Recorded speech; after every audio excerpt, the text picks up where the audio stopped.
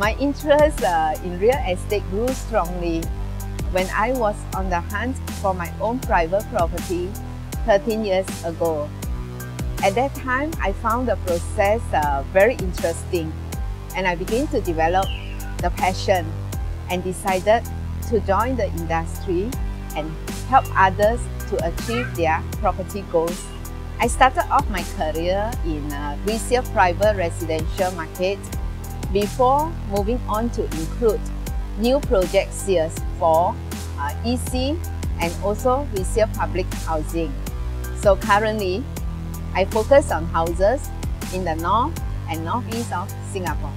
Having stayed in the north and northeast, I'm thus very familiar in this area. These personal experiences uh, equip me with first-hand information to better advise my clients on properties in these regions. Over the years, I have continued to upgrade myself professionally and personally so that I can become better equipped to serve my clients.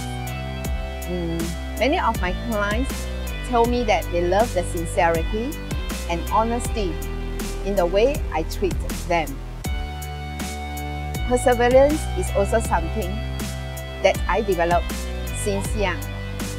So I'm not the type that give up easily in helping my clients to achieve their goals.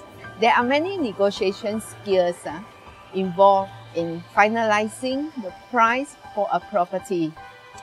So it gives me great, very great satisfaction, you know, when I am able to help my customer achieve the best price in the shortest possible time.